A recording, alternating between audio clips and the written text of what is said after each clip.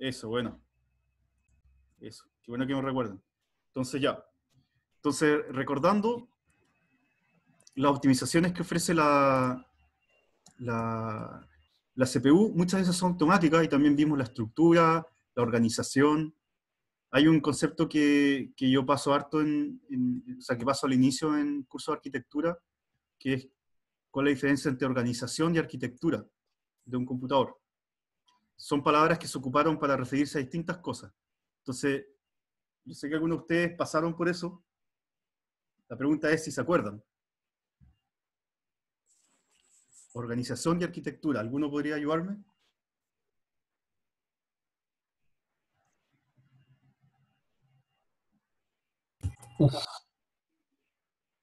¿Una idea? ¿Se acuerdan de alguna, de, quizás de la descripción de alguna de las definiciones, que sea una? Bueno, yo les voy a contar para que sigamos avanzando. En realidad eso fue una pregunta que le había hecho quizás la clase pasada. Que ahí estábamos bien, bien metidos en el tema este del, de, de cómo ver el, el, el, chip en Zoom. Entonces, organización, eh, bueno, en el contexto de hardware, y de computadores sobre todo, organización siempre se va a referir de manera estándar, siempre se va a referir a, la parte física del computador. Y, y, de qué manera se refiere a cómo, está, cómo están puestas las partes físicas en un computador. Pero mucho más allá de las partes que uno saca y pone con la mano, sino que cómo están puestas a nivel de construcción. O sea, en un mismo chip, nosotros podemos ver organización. A pesar de que nosotros no podemos hacer nada ahí con la mano, podemos ver organización en qué sentido, en que vemos que la organización de este chip define una caché que está al centro, físicamente al centro, y núcleos que están a los costados. ¿Se dan cuenta? Rodeando esa caché. Eso es organización. Eso es organización. En fondo, cómo, cómo van ubicadas las partes en, en, en, si esto fuera una matriz, en las coordenadas, y, y, decisiones que a veces son arbitrarias. Otras veces son decisiones súper inteligentes porque eso da mejor rendimiento, pensando en las distancias, con respecto a una memoria común, con respecto a los módulos de entrada y salida o módulos de memoria.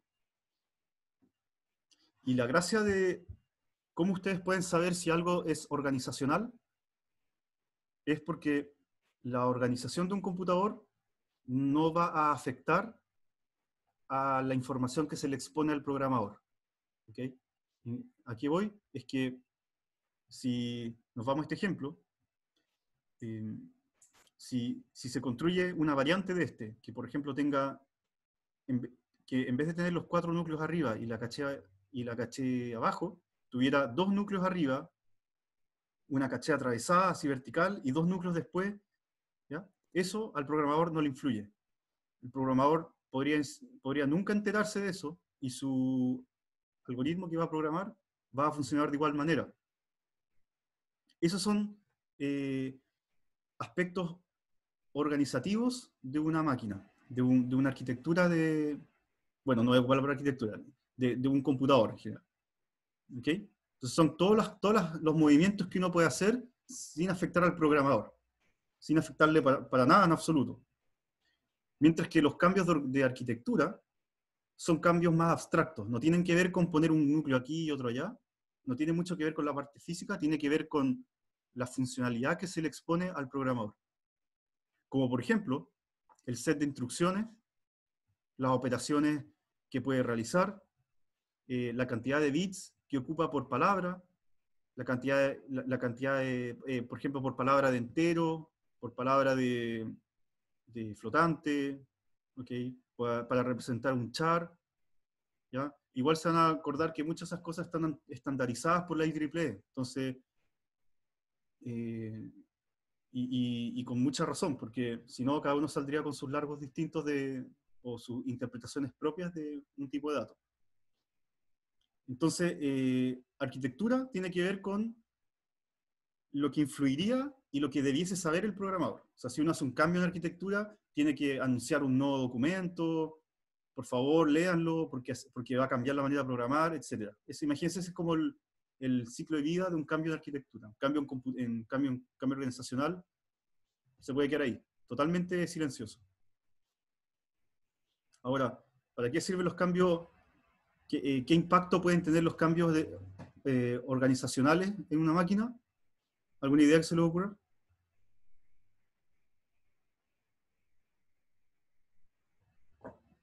Mm, que se puede calentar o así. Sí, correcto, eso, correcto. normalmente, claro, ¿sí? Priorizar comunicaciones entre, entre segmentos, ¿puede ser igual? También, también alguna otra. En general, si se dan cuenta, si lo generalizamos, son decisiones como para que ande todo más rápido por dentro, ¿no es cierto? O sea, es como ya el segundo paso, es como ya, funciona, paso uno, ahora que funcione lo más rápido posible, em, sin tener que cambiar el programa en nada, en lo absoluto. Entonces sería como los esfuerzos en organización van por ese lado, como para que todo sea más eficiente con el mismo programa que ya estaba compilado y funcionando en base a, la arquitectura que respetó. Em, entonces, entonces, como que si tuviéramos que caracterizar arquitectura y caracterizar organización, arquitectura se caracteriza más por las cosas que se pueden hacer y lo que no se puede hacer. ¿Ok? Más que todo como funcionalidad. ¿Puedo hacer esto o no puedo hacer esto? Y organización va, más por el lado de eficiencia. ¿Ya? ¿Puedo hacer esto más rápido? ¿Puedo hacer esto más lento? Entonces, para que entiendan la diferencia. Y eso aplica no solamente para una CPU, aplica en general, para cualquier construcción de cualquier parte del computador, que, donde estén involucrados los transistores, ciertas partes que procesan, registros, etc. Y bueno, pues aquí pasamos al punto 2, que es eh, cluster y, y una implica ahí que le puse como supercomputador, eventualmente. Ahora, esta, le adelanto chicos que en esta diapo vamos a ver como imágenes parecidas a la intro del curso. Eh, porque las hice en momentos muy distintos, entonces mientras hacía esta, a veces no me acordaba que había puesto cosas muy parecidas. Por lo general creo que no coinciden las imágenes, pero son similares. Entonces, un clúster es, eh, bueno, para el que no conozca la palabra clúster, clúster es un término para una cierta categoría de computadores que en realidad no son nada más que computadores agrupados y interconectados, que funcionan como uno solo, de cierta manera. Se pueden ver como uno solo. Entonces, es usual hoy en día, cuando uno dice un clúster, es usual ver algo así como lo que les muestro en la foto, que es del porte de un refrigerador, un poco más angosto quizá y un poco más alto. Pero es algo así. Entonces, ¿qué tiene dentro? No es que tenga un solo computador gigante y extraño, sino que tiene muchos computadores comunes. Comunes me refiero a que arquitectura von Neumann, ¿okay? CPU, RAM, puros computadores que cada uno por sí solo, si ustedes lo sacan y lo ponen en su casa, lo enchufan, lo prenden, le conectan un monitor, va a funcionar como un computador normal, común y corriente. La gracia está en que aquí están conectados todos en una red interna que solamente se conectan entre ellos. Entonces una red que normalmente va a ser de alta velocidad y va a permitir que todos se puedan comunicar de manera muy rápida enviando información a altos anchos de banda. Y después hay ciertos agregados que tienen que ver con, los escenarios críticos en donde operan. Entonces, usualmente tenemos un clúster en ambientes que, donde la exigencia de que esto esté prendido siempre, la urgencia, eh, eh, las implicancias que tendría que la máquina se apague, por ejemplo, para, para pensemos incluso cosas, típicos ejemplos como un banco, ¿ok? O una cosa que está manejando una, un, un, un, dispositivo militar que, que, podría ser un riesgo, quizás, por ser un riesgo que la máquina que controle eso se caiga. ¿Ya? Quizás el ejemplo militar no es tan bueno porque como es tan, tan grave esa situación, usualmente los dispositivos están pegados en los mismos armamentos y tienen como cuatro redundantes, cosa que si falla uno, se activa otro. Pero me entienden, o sea, en ambiente, como los, generalmente los ambientes de clúster son como ambientes un poco más ambiciosos.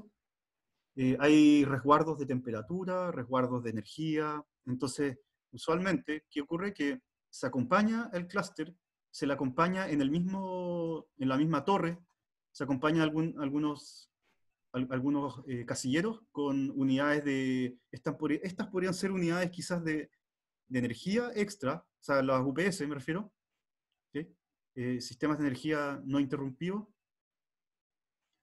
o podría ser eh, unidades de almacenamiento extra. Entonces, tienen sus nodos típicos, que serían como los nodos que trabajan nomás, estos son como los nodos esclavos que le llaman, o nodos trabajadores nomás, nodos de trabajo, y quizás ninguno de esos tiene tanto almacenamiento.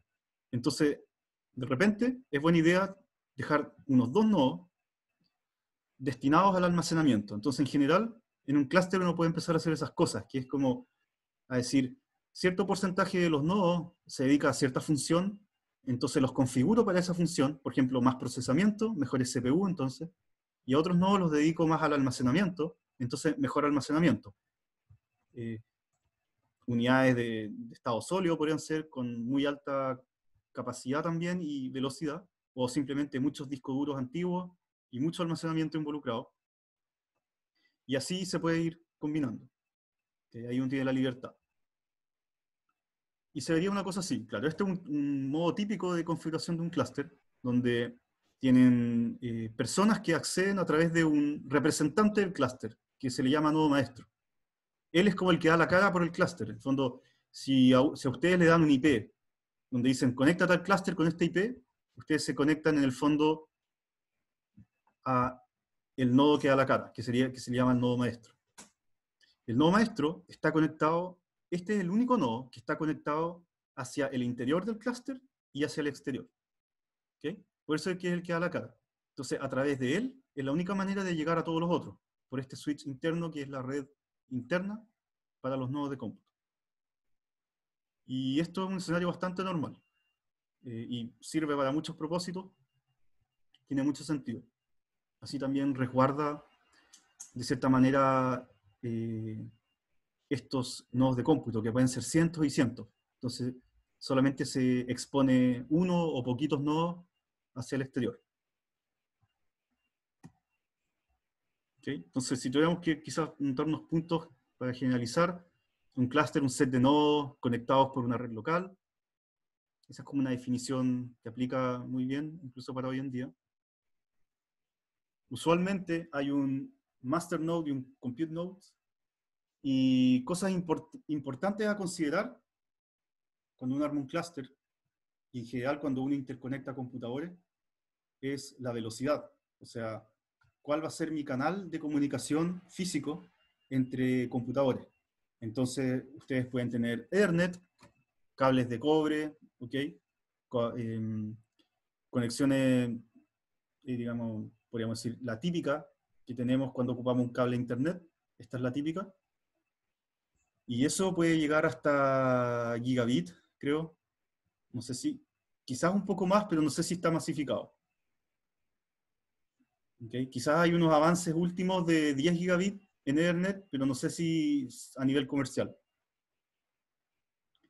Pero comercial seguro gigabit. Un gigabit por, ojo que gigabit, no gigabyte. Gigabit. Gigabit por segundo. Entonces, si lo quieren pasar a gigabyte, es menos. Y, y también otra cosa importante es que eh, tiene topología. Eh, un clúster tiene topología, a pesar de que se ocupa la misma siempre, esa es una topología. Topología se le llama a la, las relaci- de cierta manera como al, al grafo que se forma al relacionar los nodos en términos Como de la representación, ¿o no? la representación de grafo, sí, eso, eso, gracias María José. Representación de grafo de todas las máquinas, en términos de sus conexiones directas. Eso es importante, en términos de las conexiones directas. Entonces, cuando uno mete un switch y conecta a todos los computadores a un switch, que es lo típico que uno hace, si ustedes fueron a un tarreo alguna vez, tarreo a la antigua, conectaban todas las máquinas a un switch, eh, eso es una conexión centralizada, en el fondo una conexión centralizada donde, donde, donde ¿cuál, es, ¿cuál es la ventaja y la desventaja? Díganme una ventaja y una desventaja de, de esa conexión que es la, como la más natural. En- Dale una, Alfredo. Yo iba a decir, no, lo que dijo el profe de los... ¿Por qué me escucho bueno, no? Hay un perrito Ah. por ahí. No, sí, está allá afuera, no, sí. Ah, Eh, lo que dijo el profe de las carreras antiguas, en la sala de computación en el colegio pasaba eso. Podíamos jugar en LAN con los Ah, bueno. computadores. Entonces la ventaja es que disminuye la latencia entre los que están jugando en la red. ¿Y alguien quisiera des- desarrollar más la idea? Según yo, al estar el camino hacia el nodo, eh, que es el switch, va a ser de uno. Como están todos directamente conectados al, al router, no va a haber un tráfico muy grande desde mi PC hasta el router. El tráfico se va a hacer desde el router hacia internet. Porque va a estar todo, el router va a estar eh, destinado a repartir todo. Sí, sí, eso, sí. Eh, sí, hay, eh, voy a tratar de juntar los dos comentarios. Sí, claro, hay, hay ventajas, hay, hay una ventaja muy importante que no la mencionaron, pero está implícita, yo sé que la manejan, que es que es muy sencillo conectar todos. O sea, hay algo que suena tan obvio, pero en realidad, no, no- si uno lo piensa, la posibilidad de conectar todos los computadores para que todos se vean a todos, todos con todos, con un solo switch, obviamente si caben todas las bocas posibles, se hace con uno solo, ¿no es cierto? Un switch que, que tenga un slot para cada uno y todos se pueden conectar con todos. Es maravilloso. O sea, la simplicidad en, en- en- hardware es muy alta. El nivel de simplicidad de lograr esa red es como un, casi, como un, casi como un grafo completo. Sin embargo, hay un compadre que se está haciendo cargo de toda la, toda la complejidad se la lleva, en el fondo la paga el precio del switch. Entonces, eh, a veces pueden haber cuellos de botella. Eh, estos switch a veces incluso se llegan a calentar cuando trabajan mucho. Porque es procesamiento que tiene que ser interno, procesamiento que tiene que ver con enrutamiento, con redirigir los paquetes de un lado para otro lado. Ahora, para saturar eso, igual eh, hay que saturarlo con mucha carga. Entonces, igual un Ethernet, o sea, un, un switch, sabe que tiene que ser un switch en el fondo. O sea, los preparan para, para cargas altas. Pero, pero bueno, pero ahí está el, el asunto, que si nosotros queremos ir más allá que, el- que eso y queremos tratar de, de lograr conexiones muy rápidas, sabiendo que no va a haber ningún cuello de botella fuera de, lo- de nuestro control, entonces podemos ir con otro tipo de topología. Entonces, por ejemplo, árbol, anillo, hipercubo, que introducen otras ventajas y introducen otras desventajas. ¿Ok? Eh, quizás para que nos, nos imaginemos un poquito, ocupar esta aplicación.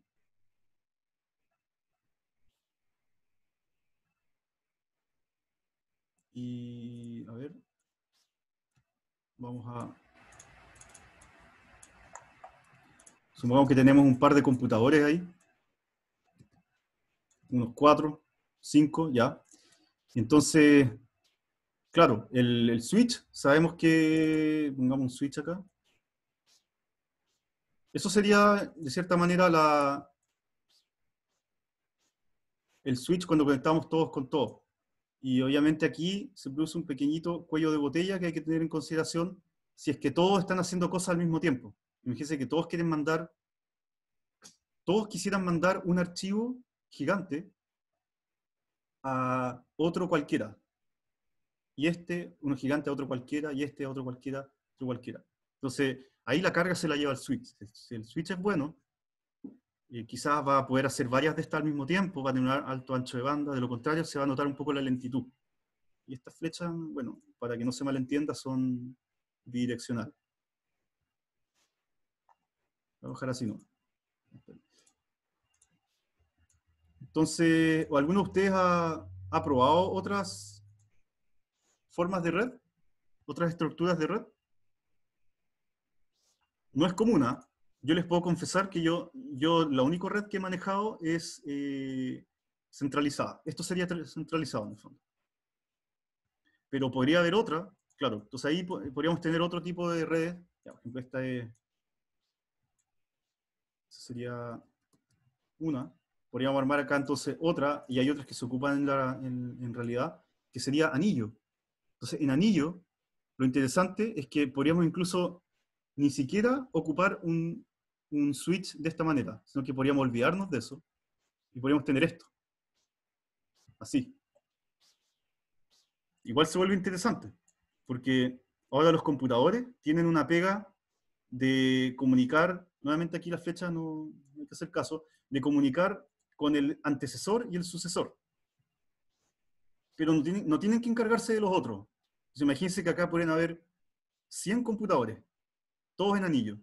Cada uno tiene una pega mucho más localizada. Nadie, nadie se lleva la pega completa. Entonces hay una ventaja eh, notable en cuanto a, que la- el trabajo está repartido. Pero, pero claro, por otro lado, está claro cuál es el problema, ¿no es cierto? ¿Cuál sería el problema que, o el precio que paga por esto? A, a mí se me, vi- a ver, se me viene el peor caso ¿Sí? de, por ejemplo, el computador A quiere llegar hasta un computador X y X no existe. O falla. Claro. Entonces A va a dar toda la vuelta Sí. y va a llegar hasta ahí, va, ahí va- recién va a decir que no Sí. existe X. Sí, es verdad. Bueno, sí, es verdad. Eh, en general podrían haber caminos muy largos, ¿no es cierto? Porque en un, en un arco no se llega directamente a cualquiera. Entonces, eh, probablemente van a tener que empezar a, a ir pensando como en, en pequeños, pequeños parches, como para mitigar ese problema, ¿no es cierto? Quizás pueden hacer como un pequeño ping primero, antes de enviar algo. Después podrían tener quizá un segundo nivel de mejora, podría ser tener una tablita actualizada, ¿no es cierto? De quiénes, están, quiénes existen, quiénes no, ¿no es cierto? Como para saber si hacer la pega o no hacerla. Pero sí, pero en estricto rigor podrían estar esos problemas. O, o un problema bien frecuente sería eh, tener que enviar justo al más lejano. Justo al más lejano. Por ejemplo, de aquí a acá. Acá o de aquí a allá. Esos son los más lejanos. Que hay que pasar por varios otros, pensando esto como bien en general, habría que pasar por varios otros antes de llegar ahí. Y, y bueno, así eh, estas topologías de red, a toda esta topología como que en algunos ámbitos alguna gente no está muy de acuerdo en llamarlo topología, pero en informática se llama así, ¿no? Otras personas también usan lo que se llama los, árboles. Entonces pueden tener ahí un- una cosa así, por ejemplo, por ejemplo, algo así, y quizá algo así, ¿ok? Y podrían tener otro más, ahí. Entonces eso sería un árbol. Y el árbol, eh, claro, tiene sus ventajas, es como la misma ventaja que tiene una estructura de datos árbol cuando ustedes buscan, ¿no es cierto? La misma ventaja de que muchos costos que son n ahora pasan a ser logaritmo de n, o logaritmo del- de la ramificación, en base a la ramificación, en este caso binario. Pero claro, nuevamente hay otras desventajas que se introducen. ¿Se podrían visualizar algunas?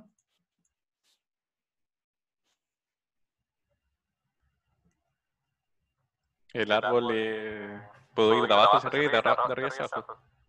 Eh, sí, ¿Cierto? en teoría sí, sí, podría. Ahí. Sin ningún problema. La desventaja también sería como de una hoja a otra hoja.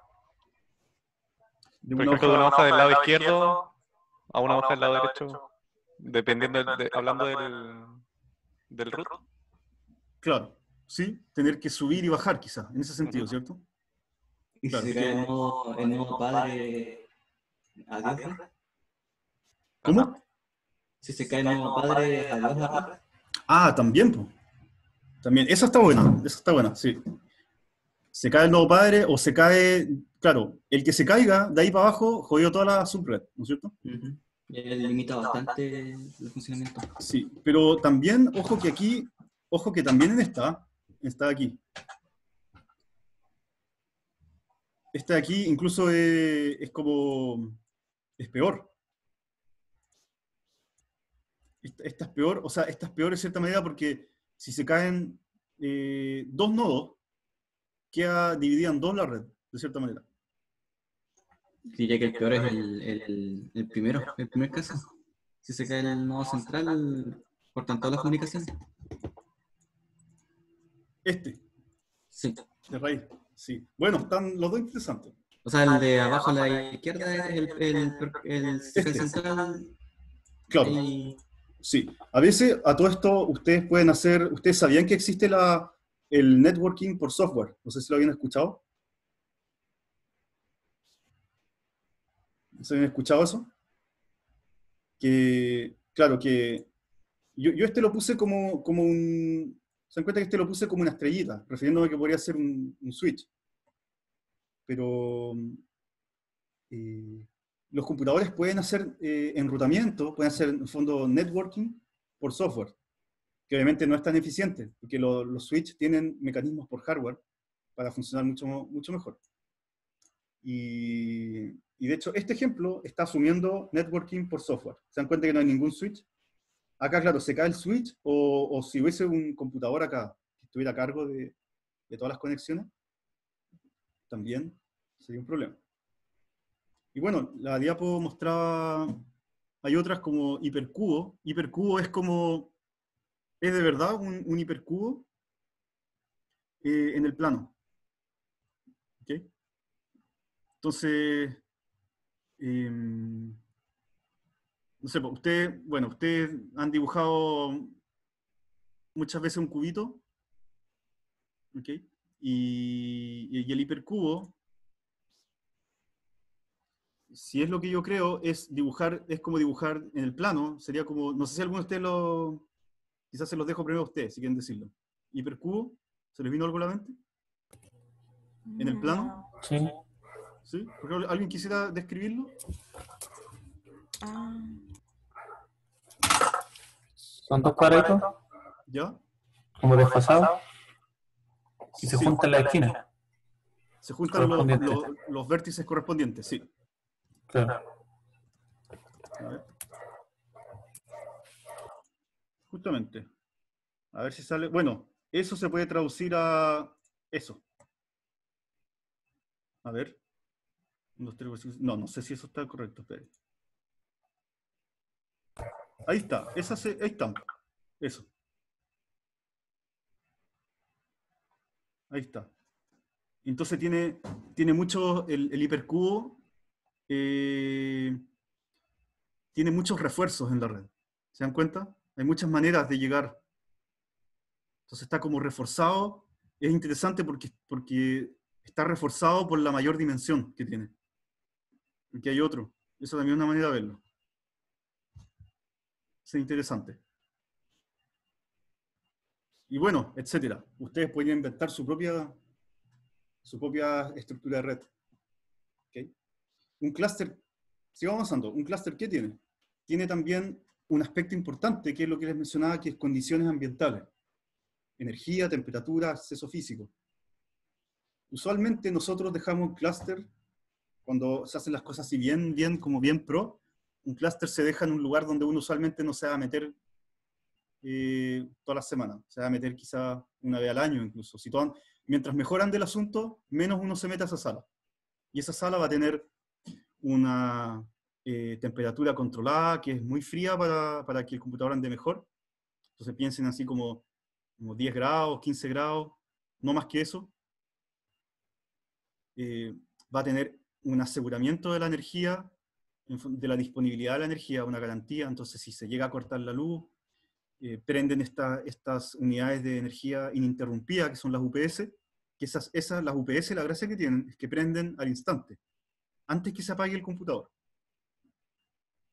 ¿Ok? Pero esas duran poco tiempo, pueden durar 15 minutos o menos. Si el computador está trabajando a full en ese momento, la UPS se, va, se la va a chupar completa. Entonces tiene que haber un generador atrás, pero el generador ustedes saben que les toma, le puede tomar un minuto en prender. Entonces justamente ahí se forma el ecosistema, que la UPS hace toda su pega para ese minuto o dos minutos, y de ahí el generador sigue haciendo su pega. Pero ¿cómo funciona la UPS? ¿Es como un generador optimizado o no? La, la UPS es un, es un eh, veámoslo, veámoslo visualmente, pero la UPS es como otro no- nodo más en el rack, ¿ok?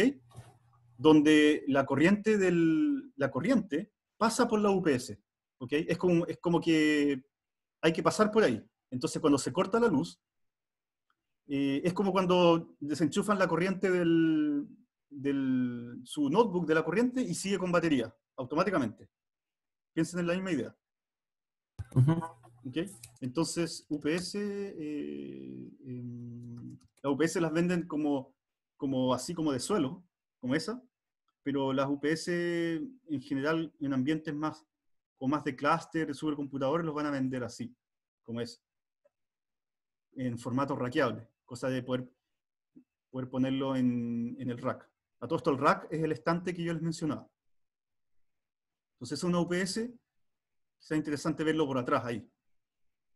Entonces tiene, eh, eh, tiene lo- los plugs de entrada y de salida, ¿ok? Es como un bypass pa- que no pasa directamente, no llega la corriente directamente a los nodos, de la, pared a los nodos, del enchufe de la pared, sino que pasa por acá. Y eso asegura la energía continua. Entonces, eso es súper bueno. O sea, cuando ustedes están en un, en clúster que de verdad, de verdad tiene que estar prendido y es inaceptable que se corte la luz y se apague, inaceptable, totalmente inaceptable, es obligación esto.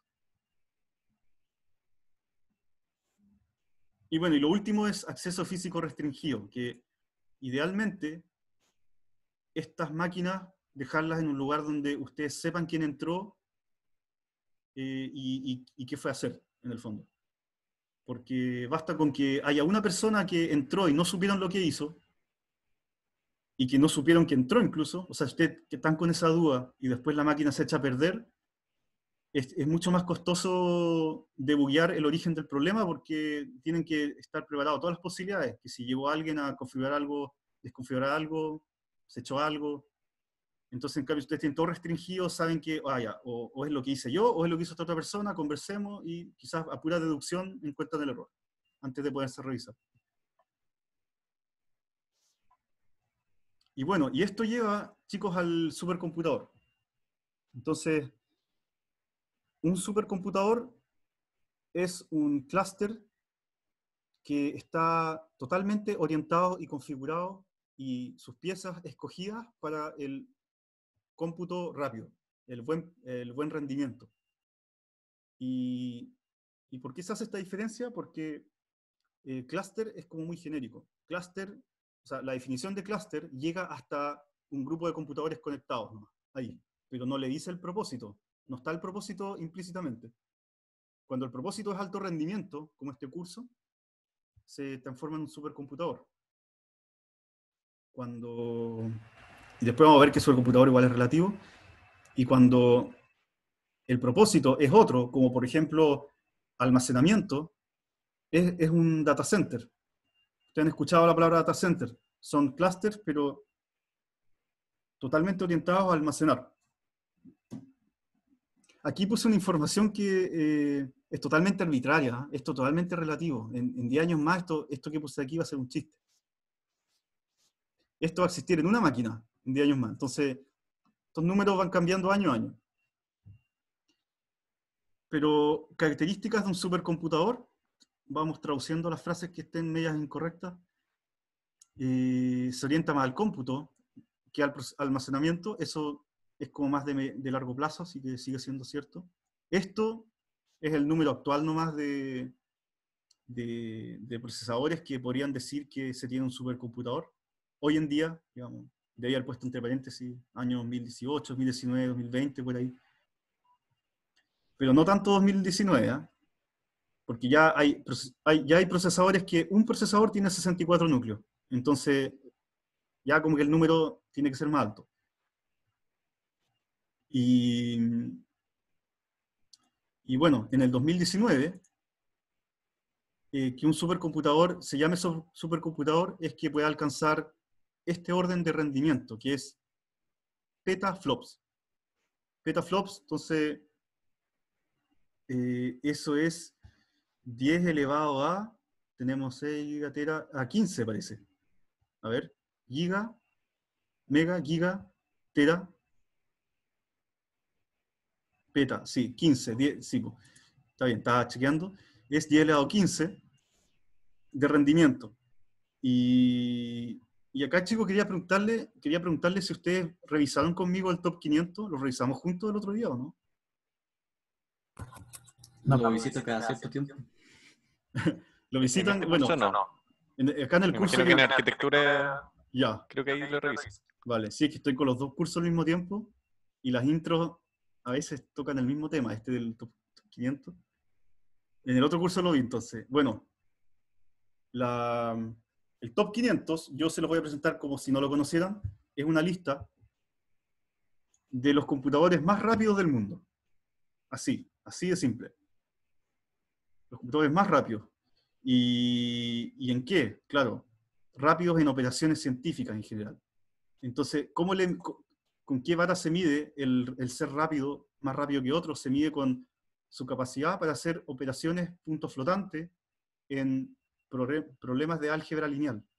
Se escogió ese problema porque ese problema es muy común en muchos problemas de la ciencia y la ingeniería. Muchas cosas se solucionan con un sistema de ecuaciones, ¿no es cierto? Y si se soluciona con un sistema de ecuaciones, se puede solucionar numéricamente con álgebra lineal. Y ese es un caso particular, ¿no? Después tenemos elementos finitos, que también se soluciona con álgebra lineal. Y también tenemos otro tipo de cálculos que, que también involucran matrices, en el fondo. Incluso podemos acá meter el, el problema de Machine Learning, que muchos cálculos de Machine Learning se pueden hacer en una representación matricial, donde hay productos de vector matriz, matriz matriz involucrados. Entonces, vamos a medir esto, o sea, la medición se hace en ese sentido que les dije, y, esta página existe, que se llama top500.org, y trata de tener actualizado los 500 computadores más rápidos del mundo. Y bueno, la actualizan eh, dos veces al año. Tampoco es tanto. Entonces igual, igual ahí hay un tema de... A veces hay- máquinas que por un momento son el número uno, pero no van a aparecer aquí, porque esta las actualiza cada cierto tiempo. Y actualmente tenemos que el supercomputador más rápido del mundo es uno de Estados Unidos, donde el- en el Oak Ridge National Laboratory, Estados Unidos, es un IBM, son máquinas IBM, y tiene una, una modesta suma de 2 millones y medio casi de procesadores, de núcleos, núcleos de, proces núcleos de CPU, y alcanza un rendimiento tope de 200.000 teraflops, ¿ok? 200.000 teraflops o 200 petaflops. Acuérdense que aquí está en modo gringo. Esa coma es la coma de los miles.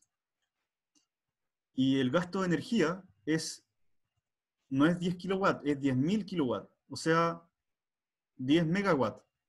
Gasta 10 megawatts. Ese gasto es como de un pueblo pequeño. Igual tiene su gasto grande. ¿ah? Ese gasto debe ser el gasto en, en carga completa, yo creo. El peor caso. ¿En alguna medida de tiempo? Kilowatt eh, hora, claro. Kilowatt hora, debe ser. Sí. Y, y bueno, y así empieza a bajar el, el conteo de, de, rendimiento, el ranking de rendimiento, el valor que manda, ¿ok? Es estos dos, básicamente, el R máximo y el, y el R peak, ¿ya? Que en este momento no me está quedando muy claro la diferencia entre R max, R peak, o sea, R peak es como el- quizás puede ser el teórico, ¿ok? Podría ser como el teórico que podría alcanzar sumando todos los teraflops que dice que tiene cada hardware, ¿me entiendes? Profe, y el que, el que armó el que está en la U, ¿cuán- ¿de cuántos core es? El que tengo yo eh, va, a, va a hacer cambios en esta lista. No, broma. Ya. No, broma. No, no va a hacer cambios. El, el que, el, que- el Patagón va a tener un impacto local bien fuerte, a nivel latinoamericano igual, pero curiosamente en Latinoamérica creo que hay un computador o dos que hace, eh, forman parte de esta lista. El asunto es que eh, los países que, si se dan cuenta, los que están acá en el top, son países totalmente del primer mundo y ellos invierten una cantidad que es, realmente es eh, gigante de dinero eh, en comprar estas máquinas. Entonces, em, mientras armar un computador consista en meterle más, más lucas, así de simple, vamos a estar lejos del ranking. ¿ok? Porque habría que cambiar las prioridades totalmente hacia el nivel de gobierno y, y- y hay mucho que arreglar ahí en tema de ciencia y tecnología, la inversión que se hace en Chile, ustedes saben, ¿cierto? Sí, sí, sí, sí.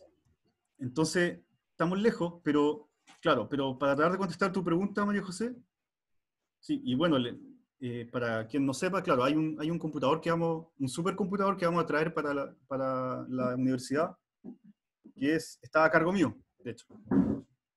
Y debiese llegar este año, si es que el coronavirus lo permite. Y va a venir de, va a venir, si es que lo permite, y, y sobre todo si es que lo permite Estados Unidos, porque eso va a venir de Estados Unidos. Entonces, Estados Unidos la cosa está bien grave, así que por ahora no, pero debería llegar quizás aquí unos seis meses, yo pienso. Y bueno, eh, el computador que va a venir a, a Valdivia, que, que- que van a poder tener acceso ustedes, ustedes van a poder tener acceso, chicos, a todo esto, van a poder conectarse, así como se conectaron al Guanaco, se van a conectar a ese computador cuando llegue y van a hacerlo debutar probablemente ustedes en, en varias cosas. Así que eso es interesante. Y ese computador, la diferencia que tiene es que está hecho, o sea, la diferencia que tiene con algunos de estos y común con otros de estos, es que está hecho de su, su poder computacional está construido por la GPU. ¿ok? Se logra con las tarjetas gráficas que tiene dentro más que con los CPU que tiene dentro. Entonces, se parece más al número 2 de la lista, que es un supercomputador también de Estados Unidos, pero que está hecho de varias tarjetas NVIDIA Volta V100. GB100. Y entonces eh, su rendimiento va por ahí. Va por, por ocupar las tarjetas para calcular y las CPUs también para calcular, suman también, pero el foco está ahí. Y, y bueno, también hay una máquina acá que llama la atención que tiene 10 millones de núcleos. Y es de China. Esa máquina posiblemente tenga un procesador un poco especial, así como un, pequeñito procesador, y son muchos. Entonces, igual interesante que, que llega, está dentro del- top 3, con un approach eh, distinto. Distinto, porque no, claramente no, no van a ser eh, procesadores del mismo tipo.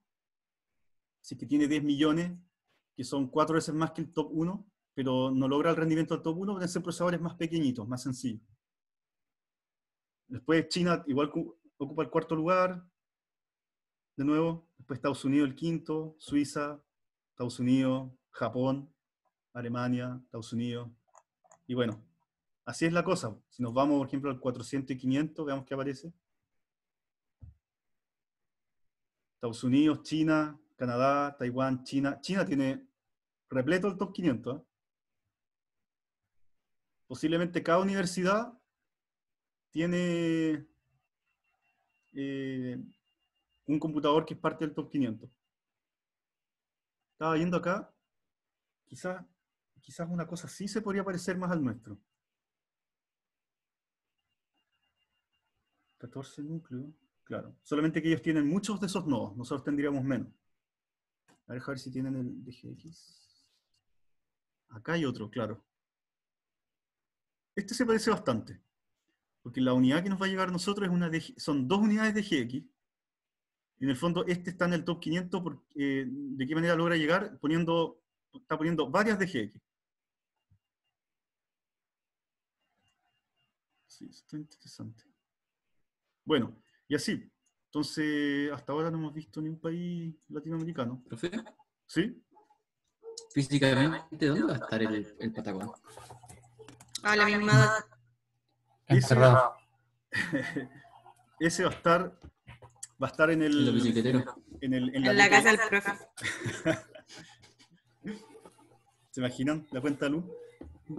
No, va a estar en, en, en- en la DTI de, de La Teja, que es el único lugar que tiene todas esas condiciones que yo les dije de temperatura, seguridad física, seguridad energética.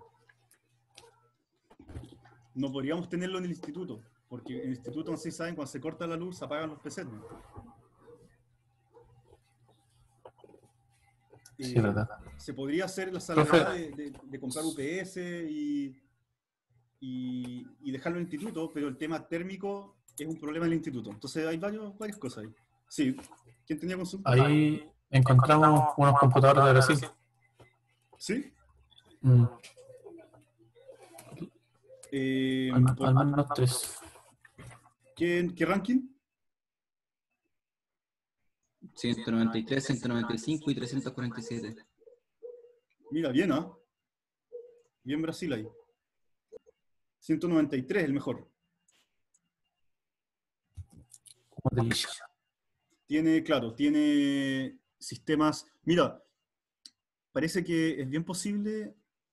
Yo voy a revisar, ¿ah? porque quiero ver si podemos llegar a un rendimiento. A ver. 18. Ah, ya. Sí, a ver, creo que nosotros, con las máquinas, podríamos llegar como a. No, no creo que lleguemos al top 500, porque estoy viendo el rendimiento en la práctica. Es un petaflop. Pero ese petaflop no es un petaflop de Machine Learning, es un petaflop de, doble precisión, que es, es eh, claro.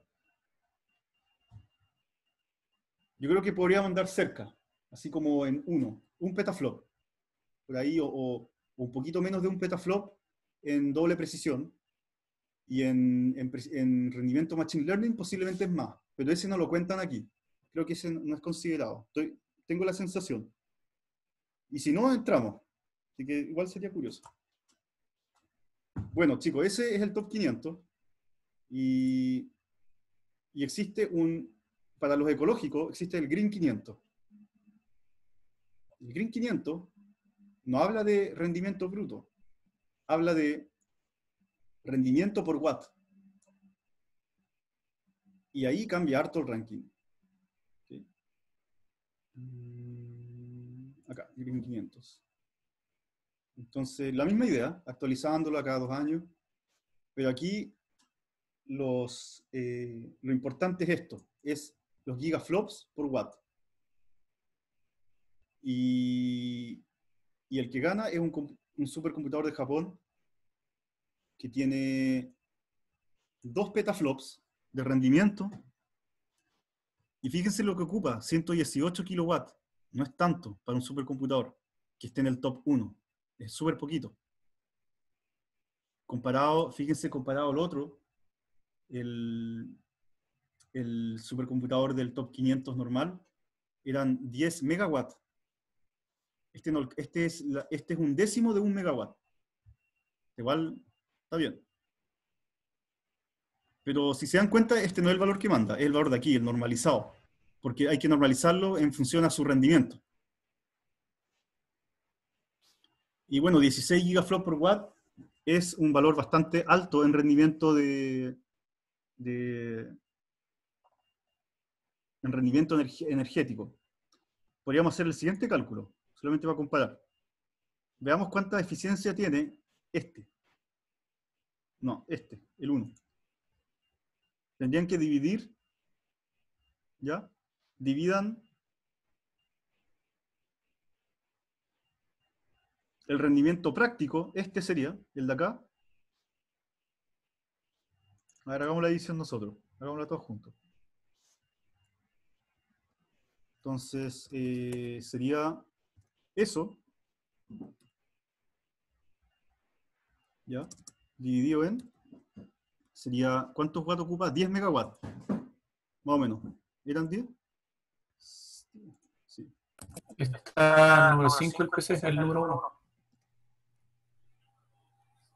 ¿Y da eso? Sí. ¿Da O eso? sea, mismo? dice 14 7. Ah, ya, sí, más o menos lo mismo. 14 gigaflops por watt. Sí. Claro. Sí, eso está en teraflops. Por eso que ver, habría que multiplicarlo por. Ah, ah, no. Eh, quizá me faltó un valor en algún lado. Ah, sí, por acá. Eran 10 megawatts. Ahí. 14, claro, más o menos sí. Y, estaba en, ¿en qué lugar dijiste, Alfredo? Quinto. Es que en la lista verde ¿Ya? está número 5. Ah, ya, bueno. Bueno. Tiene, igual, el número uno igual tiene buen rendimiento. Pensé que iba a tener menos. Pensé que iba a tener menos. Está bien. De hecho, este no es tan eficiente el de Chinap, el que tiene 10 millones de núcleos. Es como... Es 93. Ese está 93. décimo. ¿Es ¿Cuánto saca? 12.7. Ya. Bueno, ahí pueden ir jugando con esto, si quieren saber. Simplemente verlo, comparar los dos rankings. El décimo es el de Estados Unidos. ¿El décimo? Es que el décimo verde es el segundo. El Sierra. Ah, el, el segundo de Estados Unidos está décimo. Claro, y aquí uno puede ver el más ineficiente. Profe, ¿Sí? ¿Ahí le sobran núcleos al de China o la distribución está mala o algo así? Eh, sí, eh, buena pregunta. Eh, no es que les sobren núcleos, sino que sus núcleos no son tan eficientes. Simplemente eso. Y eso puede, te- puede, o sea, aquí la fuga de eficiencia puede estar en muchos lados, desde una conexión lenta, desde una conexión eh, eh, con pérdida de paquete, o, o nos vamos ya a los nodos mismos.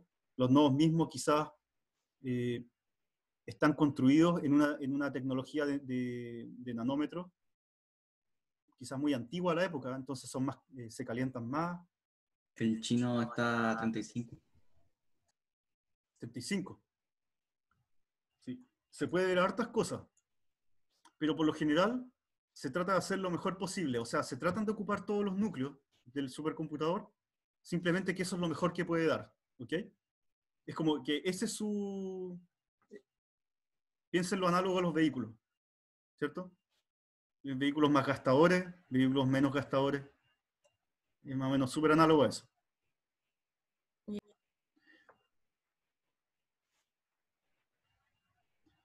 Y también es análogo a los vehículos por el hecho de que los vehículos tienen una eficiencia como, como de, de papel, de tabla, pero después viene quien lo usa, ¿no es cierto? Hay personas que hacen gastar un vehículo más benzina, no sé si sabían. Al- Por ejemplo, en- si nosotros nos ponemos a comparar, vamos a ver que algunos gastamos más la benzina del, del- de un X vehículo, aunque, nos do- aunque los dos ocupáramos el mismo. Vamos a dar cuenta que alguno, uno ocupa más benzina, otro ocupa menos benzina. Y ahí está todo el detalle fino de, de- de cómo uno acelera, cómo- cuánto frena, etc. Entonces, la eficiencia, por eso que es como un problema bien, bien grande donde uno puede entrar a investigar incluso. Ya, sigamos, sigamos, sigamos. Tenemos ahora eh, que los supercomputadores, como les comentaba, pues su, su origen del procesamiento puede venir de la CPU, de la GPU y de otras unidades específicas que son, que son circuiterías de propósito específico. ¿ok? ASICS es la sigla que se le da a esto y viene de Application Specific Integrated Circuits. Son circuitos que o, o te van a hacer un producto de matrices, o te van a hacer una búsqueda, te van a implementar un árbol quizá, todo por hardware. Esa es la gracia que tiene. Entonces, al ser todo por hardware, ¿cuánto le toma hacer la operación que ofrece? Le toma, podría llegar a ser incluso tan barato como un ciclo de reloj. Es como una llamada a una función. Y después están las FPGA que, en base a operaciones lógicas y algunas, algunas aritméticas básicas, permiten programar un arreglo de puertas lógicas y hacer un cálculo en paralelo. ¿Cómo se programa un supercomputador? Desde un, desde un computador multicore hasta un supercomputador, las herramientas son las mismas. ¿ok? Estamos pensando en MPI, OpenMP, para, esto es para CPU. Tenemos que hablar de GPU, estaría presente ahí CUDA, OpenCL, que no las anoté. Y si tuviéramos que hablar de, de algún ASIC particular o de algún FPGA particular, tendría que haber aquí una herramienta particular. Y eso es bajo nivel. O sea, ba- bajo nivel, ya, siempre está esto del nivel, el- este nivel bajo-alto, que puede sonar raro para si uno está entrando en este ambiente. Eso no significa que sea bueno o malo, sino que significa qué tan cercano a la máquina o alejado de la máquina es. ¿Ok? Ese bajo nivel es como decir meterse a los fierros, y alto nivel es decir como, como programar lo más, lo más abstracto posible. Cuando uno programa abstracto, entonces hay herramientas como Hadoop, Spark, donde a ustedes les da lo mismo, les da lo mismo o les importa mucho menos eh, el- el- los detalles hardware y, y cómo se van a comunicar. Y, y- y mucho- y muchos de los cómo, el cómo va a pasar esto, cómo va a pasar esto otro, ya uno deja de preocuparse y uno se preocupa más en, en el qué, en el qué voy a hacer.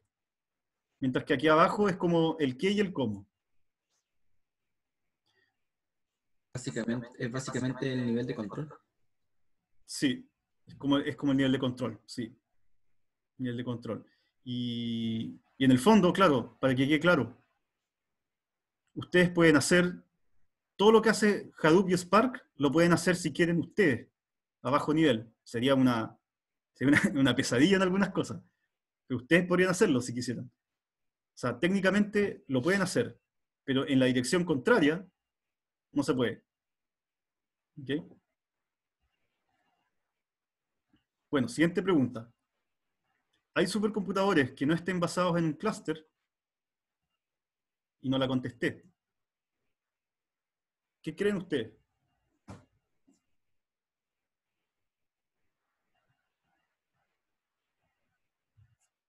¿Qué piensan de la definición de supercomputador? ¿Cómo la encuentran? ¿La encuentran como, como, como bien genérica, cumple para todo? ¿La encuentran como muy de la época de ahora nomás?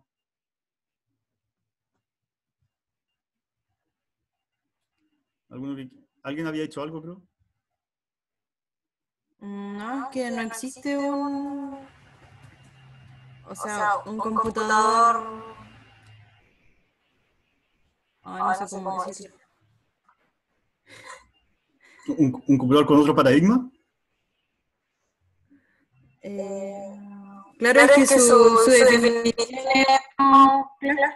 Entonces, No te escuché lo último. Que se define como clase ¿Sí? O y sea no existe un computador como con otra arquitectura. ya. Bueno, eh, lo que tú me dices, María José, eh, hoy en día es así. Los supercomputadores, como tú dices, están basados en clúster. Entonces la pregunta es, ¿hay? No. No, no hay. De hecho, si ustedes revisan el top 500, eh, van a ver puros computadores basados en esta idea que les acabo, en este paradigma que les acabo de contar. Pero en el futuro, ¿ya? si tuviéramos que contestar esto muchos años más, posiblemente la respuesta sea distinta.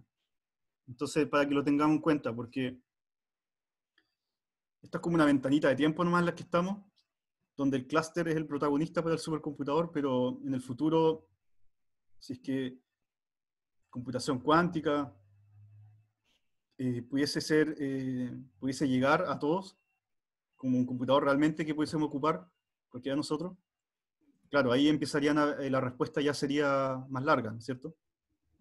A esta pregunta. Podría haber un clúster de supercomputadores.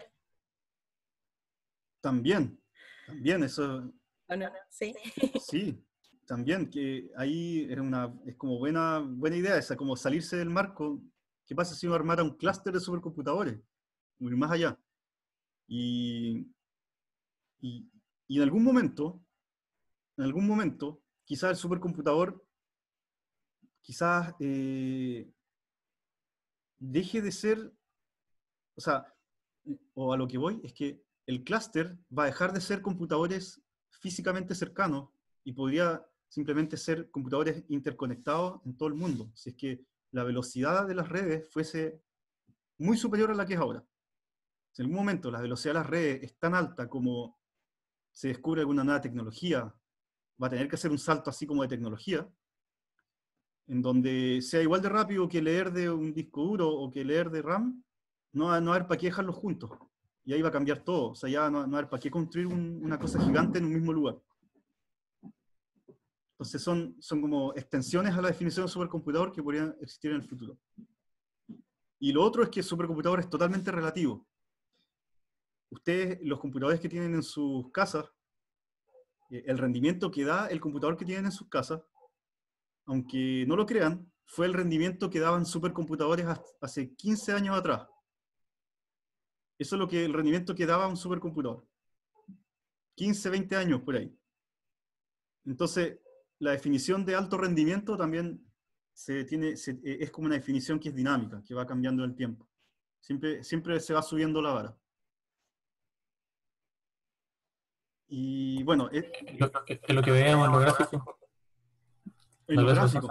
Sí, sí, los gráficos. Estos gráficos de escalabilidad de rendimiento en los años. Sobre todo que, que eh, la ley de Moore eh, propaga mucho a que el rendimiento vaya subiendo a un nivel exponencial, el rendimiento de los computadores. Mientras la ley de Moore sea cierto, eh, achicando los transistores y poniendo más transistores en un mismo lugar, entonces haciendo más núcleos en el fondo, se va a poder seguir subiendo. Y estamos en esa época, donde se puede seguir haciendo eso. En el futuro dicen que eso se va a frenar. Y, y probablemente se frene, pero en todo ese tiempo que tenemos probablemente se ha encontrado una nueva tecnología y, y ese freno ya no va a ocurrir ahora y siempre se va chuteando ese freno. De hecho, de hecho ese freno debió haber ocurrido. El freno de achicar los transistores. Debió haber ocurrido, pero ha habido investigación en ese tema de cómo construir transistores más pequeñitos. Y es por eso que, que todavía se puede llegar a, a tamaños como 7 nanómetros, eh, 5 nanómetros creo que, o 4 por ahí también hay planes de seguir. Y incluso creo que habían planes para llegar a 1. O sea, ha- han resuelto problemas que antes se creían que eran barreras físicas, se solucionaron. Cada vez es más difícil, eso es verdad. Pero cada vez van saliendo nuevas ideas también. Y en algún momento va, va a llegar ese cambio grande que es como ya, eh, vamos a dejar de ocupar silicio y vamos a ocupar otro material y ahí es como que se comienza de cero.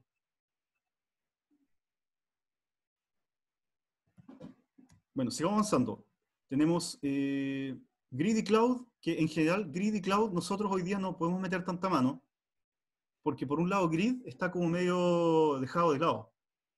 Grid eh, era un- una cosa que estuvo bien, bien de moda por la época del 2005, por ahí. 2005, 2010 quizás, ese rango de, de años. Ustedes eran bien chicos. Por ahí el grid era como la novedad, porque no existía la idea del cloud computing, como hoy día la entendemos. No existía, no, estaba concientizada esa idea. Quizás podría haber alguien que la aplicaba y que la entendía, que estaba consciente, pero a nivel global no era así. Y Grid, Grid es, como una, es como un clúster, es como lo, que, justo lo que consultó María José, es como un clúster de clusters. Pero el, el nivel, el, el nivel extra que se le agrega de clúster de clusters, ahora no es que estén todos juntos, sino que es a través de red, redes de larga distancia, o sea, Internet, cara de palo. Es Internet. Entonces son varios clusters conectados por Internet en distintas regiones del mundo, que están preparados para funcionar como uno solo. Eso nomás es. Y ahí, y por supuesto que permite que cada clúster sea heterogéneo, uno de otro. Entonces, podría haber un clúster que, contribuye siendo clúster de GPU, otro clúster contribuye siendo clúster de CPU, podría haber otro que sea de puros teléfonos, otro de puros laptops, etc. Podría haber una persona contribuyendo con su propio computador nomás, con uno solo, y le suma un poquito más de, computabilidad al clúster. Eh, sí, ahí, me estaba pasando la otra. Ya, eso, eso con grid. Después estas fotos de cloud, pero está mal, está mal puesta, se me, se me corrió. Estaba, tenía que venir después. ¿La vamos a saltar? Vamos a ir acá. El grid es un set de nodos conectados por una red global que es Internet, en el fondo. Usualmente hay un control node y compute nodes. Y existen capas de, de intermedias que se llama middleware, que como un software de bajo nivel ¿ok? para gestionar el grid. Y la red ahora es un conjunto de subredes, lo, lo mismo que les estaba contando. Entonces, por supuesto que los desafíos es comunicación por WAN eficiente, minimizar transferencias, o sea, si voy a mandar algo, trato de mandar todo lo que voy a mandar para no volver a mandar cosas en el corto plazo. Y comprimir la información, un desafío ahí de compresión de datos también. Compresión de datos es un área que se hace muy importante cuando uno trabaja a gran escala. Tiene un impacto tremendo en, en- en uso de energía, en velocidad, en dinero. Por muchos lados que se mire, tiene un impacto tremendo el tema de la compresión. Y de cierta manera, compresión es, es, es- es hacer computación de alto rendimiento en los datos. De cierta manera. Eh, bueno, otro punto importante es que no es centralizado, ojo, no es centralizado. ¿ok? Sigue como la idea de un blockchain, que tampoco es centralizado. Eh, hardware muy heterogéneo, lo que les comentaba, y orientado a las aplicaciones más de desarrollo y, ejecución, eh, aplicaciones desarrolladas eh, para un grid. Entonces, desarrollan algo, lo ejecutan, es como un poquito más manual. desarro- uno, uno llega a desarrollar en el grid, eso ocurre. Entonces, después van a ver que en cloud eso normalmente no ocurre. Por otro lado, cloud, entonces, es, un, es un, algo más amplio, que no es totalmente comparable, no- no se puede hacer un versus entre cloud y grid así como, como frontal, porque pueden tener intersección y pueden estar distanciados en ciertos objetivos. Entonces, cloud es un concepto que abarca hardware y software, implementa un sistema transparente de almacenamiento y procesamiento. Eso es súper importante. Yo creo que ahí está el éxito del cloud. Y que además se basa en web. Los servicios están hechos como a nivel ya de, de interfaz de usuario. Muchas veces. Y se enfoca en, claro, en estos servicios en el fondo. Flexibilidad, facilidad de uso, seguridad, integración de componentes software y hardware. Y aquí hay un diagrama bastante bueno, no sé si lo han visto, que muestra eh, cómo se vería el cloud computing dependiendo del nivel que uno escoja estar. Entonces está el nivel más arriba, el más arriba, que sería, yo quiero usar el cloud computing como un servicio software. Es decir, llego y ocupo una aplicación de negocio, ocupo, un servicio web, algo de multimedia. Piensen- miren los ejemplos que salen al lado. Google Apps, Facebook, YouTube, ¿ya? Salesforce, que nunca lo he escuchado en mi vida, pero tiene que ver, en el fondo, con eh, ser un usuario normal. No necesito ser experto, simplemente uso todo lo que me ofrece el cloud y el cloud se encarga de todos los problemas. Luego viene un siguiente nivel. ¿ya? El primer nivel pareciera que no nos correspondería tanto a nosotros, que estamos estudiando como para hacer más cosas de lo que uno puede hacer simplemente metiéndose y viendo en el momento. Siguiente nivel es plataforma como un servicio, donde tenemos eh, frameworks de software, basado en Java, en Python, .NET, por dar algún ejemplo aquí. Tenemos almacenamiento, bases de datos. ¿ok? Entonces tenemos una interacción no con aplicaciones, sino con una interacción con plataformas. Y aquí yo creo que muchos en la informática están involucrados a partir de este nivel. Aquí tiene más sentido. Aquí tiene sentido porque aquí uno le ofrece algo a los del siguiente nivel, en el fondo. Y acá eh, cosas como Amazon DB, Amazon S3, ¿ok? Eh, Google App Engine, Microsoft Azure. Todas las plataformas posibles en las que uno puede desarrollar. Y, basar su desarrollo en ellas, confiar en ellas en el fondo. Parte, parte del, de toda la infraestructura y la arquitectura software. Y después viene otro nivel, más abajo, más abajo que es cuando uno todo está a cargo de todo su software, pero necesita el hardware. ¿ok?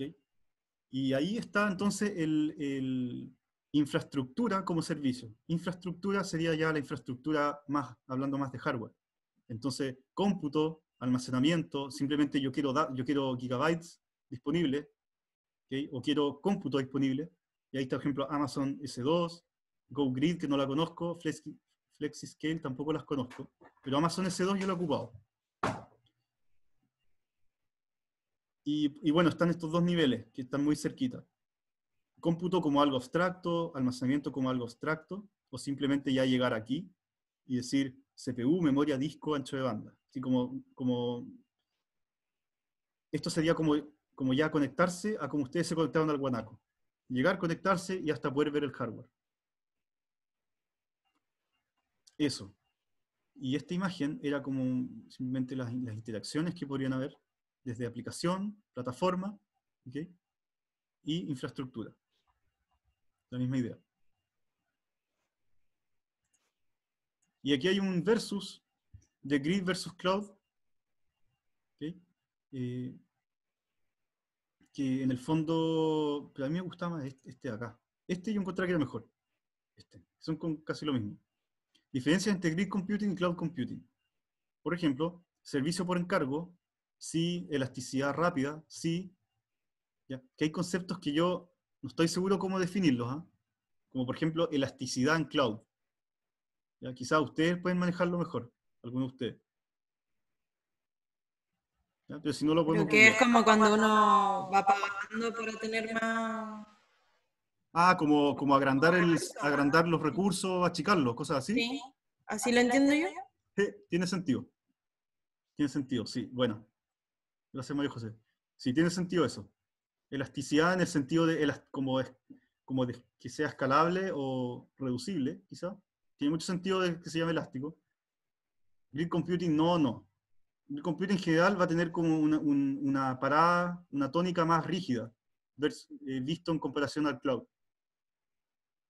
Acceso, pero también más manual. Acceso a la red, eh, internet, así de simple. Acá red corporativa, VPN, algo así puede ser. Transparencia alta, transparencia baja.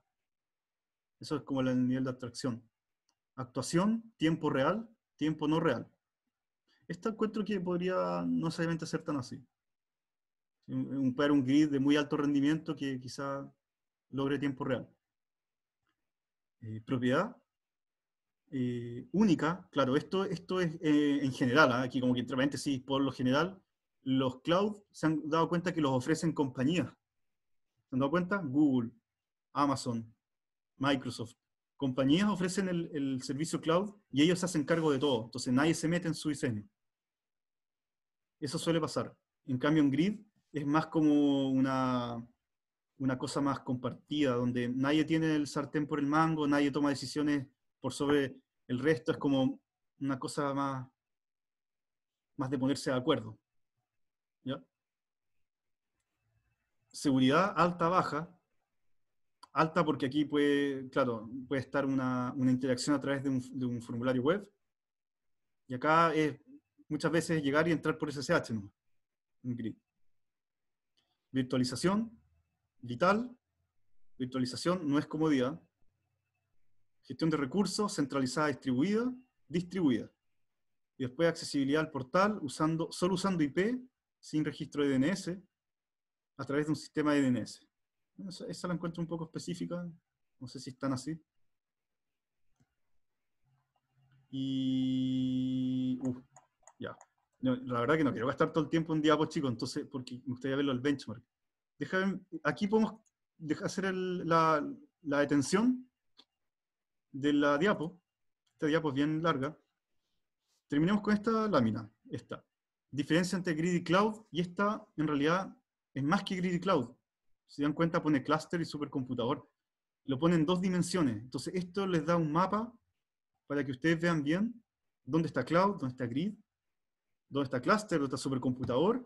Y no es tan simple como poner todos separados, como que sin intersecciones, sino que están casi todos con intersección. Entonces no es tan blanco y negro.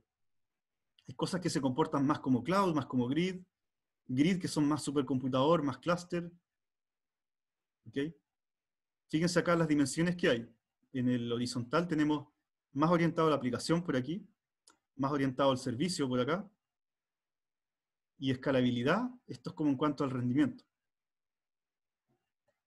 Y tenemos, por supuesto, el supercomputador va a estar orientado más acá, más en orientado a la aplicación, a desarrollar una aplicación y ejecutarla ahí, y de escalabilidad alta.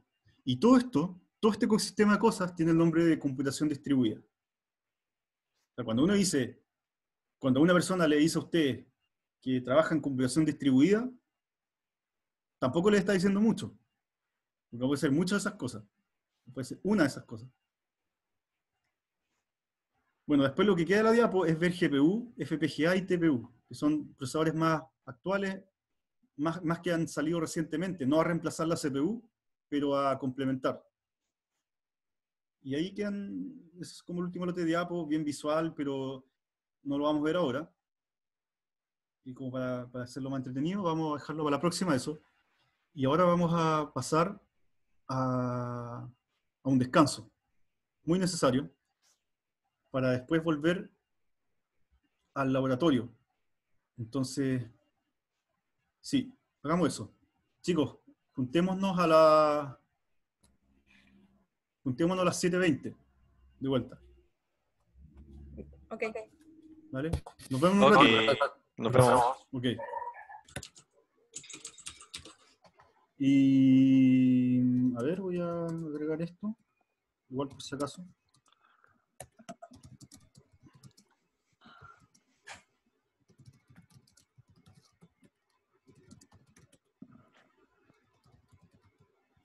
¿Le hacemos cool ahora?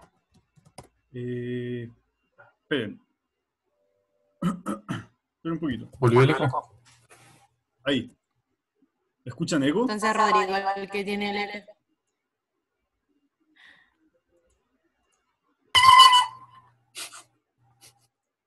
Estoy escuchando eco y estaba muteado. El profe. ¿Soy yo, parece?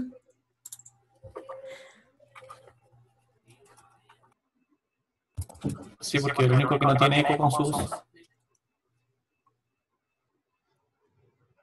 A ver, puede ser quizás que... Ya sé que puede ser.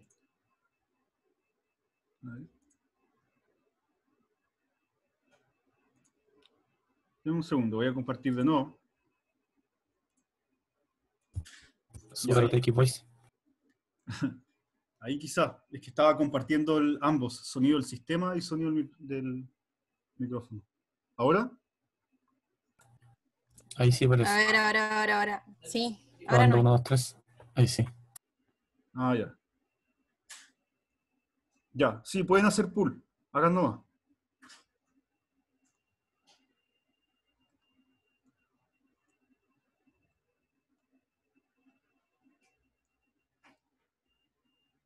Con cambios menores, pero igual mejor que tenga la última versión. Entonces vamos a entrar hoy día al Lab 01 de Benchmark. Este lab es como una versión extendida de un lab que yo hago en arquitectura computadores. Y es muy parecido. O sea, de hecho, test 1, test 2, test 4 existen en el, cuando yo el curso. Pero, pero test 4 está mejorado y test 3 es nuevo. Este es más completo. Entonces, eh, vamos a ir viendo qué se busca hacer en este laboratorio. ¿eh? Dice, en este lab usted ejecutará pruebas de rendimiento para distintas partes de su computador. Los gráficos los puede realizar usando la herramienta de su preferencia. Vamos a medir rendimiento, vamos a sacar gráficos. Y ustedes chicos me van a hacer un reporte sencillo, un email, un puro email.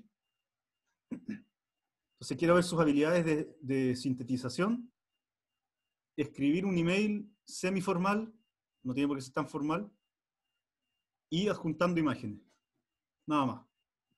Y eso les va a servir porque cuando uno entra en el mundo académico, mundo realmente de, de la, de, de la computación en general, cuando está sacando resultados experimentales, sobre todo experimentales, pero también pueden ser quizás semi-sintéticos experimentales también, eh, es muy común de que uno le informa a otra persona eh, ciertos logros, y no, no tiene por qué ser todo a través de un informe, ¿no es cierto? Sería mucha pérdida de tiempo. A veces las cosas son al grano, entonces como enviar un correo, imagínense ustedes en un futuro quizás alguno de ustedes haciendo un doctorado, entonces mandando un email que puede ser hasta en inglés, a- a un- al patrocinante informando algunos avances. Entonces esto sería como lo mismo, me están mandando un email a mí, como yo patrocinante, del, pero del curso, y me están informando sus, sus hallazgos. Entonces la comunicación, la, la buena comunicación por email es súper importante hoy en día en el mundo de la computación, investigación con computación. Van a aprovechar de practicar eso de pasada. Entonces en este laboratorio vamos a medir eh, cuatro aspectos del computador, que sería la CPU en cuanto a su procesamiento numérico, después entrada y salida, que significa almacenar y leer archivos, o en general eh, movimiento de datos entre el almacenamiento ¿ok? y la memoria. Y, y también tenemos el test, no- este es nuevo, que es el test de ancho de banda de memoria, que es qué tan rápida es nuestra memoria RAM. ¿Se han preguntado alguna vez? ¿Se han preguntado o, o les ha parecido curioso que está lleno de información en todos lados de las velocidades de los discos duros, ¿no es cierto? Cuando uno los compra, cuando uno ve reviews, está lleno por todos lados, pero no está lleno por todos lados la velocidad de la RAM. El bytes por segundo de la RAM, ¿se han dado cuenta que uno no lo pilla en todos lados? Y, hoy día vamos a ver ese valor también, que es importante tenerlo. Y ahí les va, se les va a aclarar mucho más esa, esa pirámide de distintas memorias con distintas velocidades que existe en la jerarquía del computador. Y vamos a hacer un test de GPU, de rendimiento gráfico de la GPU en este caso, escogiendo algunos de los tests que yo les dije que descarguen la otra vez. Uno, al menos uno, pueden tener los tres también si. Y después al final está lo que quiero que, que hagan, mandando un email. Eso es importante que lo manden con ese asunto, porque así después los voy a poder encontrar fácil. Y partamos entonces. Partamos, a ver. Vamos a ver el primero que es de la CPU. Entonces, para la CPU necesitamos descargar un benchmark. Vamos a ver qué nos dice la carpeta. Tenemos una carpeta para cada test. Es uno numérico. Vamos al Limpack tutorial. Y nos dice descargar Limpack, opción 1. O alternativa, puede encontrar el paquete en su repositorio. Por ejemplo, en Arch Linux, yo lo puedo encontrar haciendo eh, yay-s limpack y lo instala. Una vez que lo instala, vamos a ver acá, instalar, después acá, ejecutar, me queda en esa ruta y yo lo puedo ejecutar. Y yo podría hacer eh, la muestra aquí mismo. ¿Ya? Entonces, user bin limpack runme xeon64. Y entonces podría ejecutarlo y ver qué pasa. Dice consultar el archivo lin xeon64 para ver los resultados a medida que son calculados. Entonces yo podría ver otra ventanita acá. Y, eh, ¿dónde estoy? Estoy en... Estamos en laboratorios. Test 1.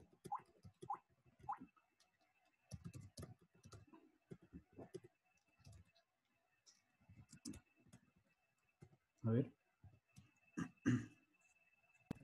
Eh, fecha límite de enviar el correo. Fecha límite, dejémoslo eh, esta semana, o sea, hasta, la- eh, hasta el próximo martes, como fecha Ah, límite. ¿ok? Entonces yo les quiero mostrar un poquito acá el modo de uso y después ustedes eh, lo hacen de manera más cuidadosa, le, van construyendo los puntos de sus curvas.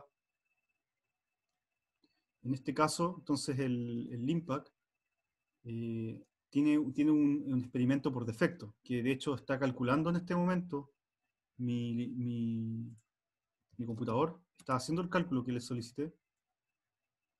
Si quisiera revisar cómo está trabajando. Está Sí, está prácticamente usando casi todo el computador en cuanto a CPU. Igual estoy grabando la clase, estoy haciendo hartas cosas al mismo tiempo, entonces no va a salir el mejor rendimiento, pero es la idea. Que vean que hay varias curvas al 100. ¿Sí? Y lo que quería revisar era si habían opciones de ejecución. Creo que, no sé si chico alguno de los que ustedes calculó esto antes, ¿recuerda si habían opciones de ejecución como a cambiar el n?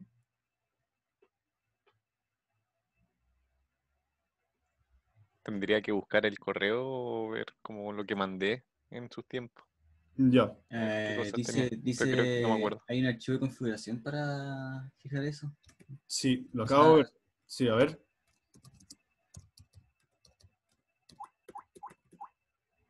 Em, ¿Cómo se llama? Config. Ah, config. Linkpack. Ese. Acá está. A ver. Entonces, eh, number of tests, number of sizes, link dimensions. Ah, problem sizes, sorry. Problem dimensions, eh, times, times to run a test, alignment values. Claro, por ejemplo, aquí lo va a ejecutar 100 veces. Es mucho. Es mucho, entonces este config es importante editarlo. Este es justamente el que estaba consultando. Entonces podríamos, y aquí hay un- una referencia como cuánto usa, cuánto usa de memoria.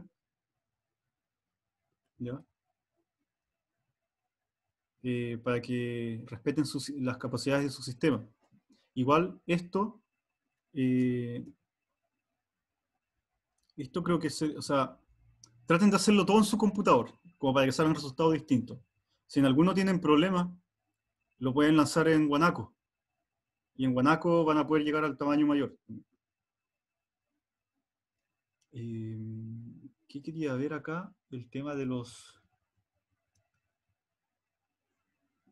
Claro.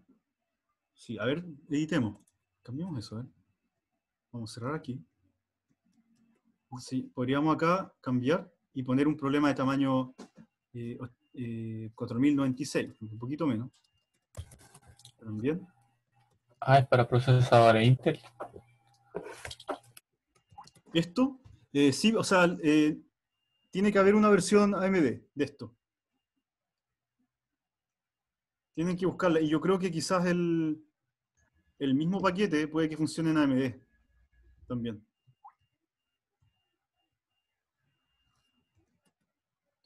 Eh, lo, lo que no encuentro es la cantidad de, de, de threads que va a ocupar. Sí, esa parte vamos a tener que investigarla. A ver ahora.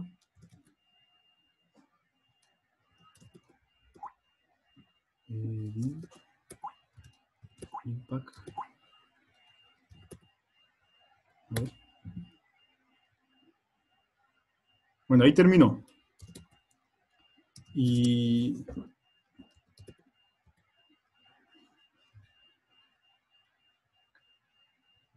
Y ahí está el reporte. Ocupó...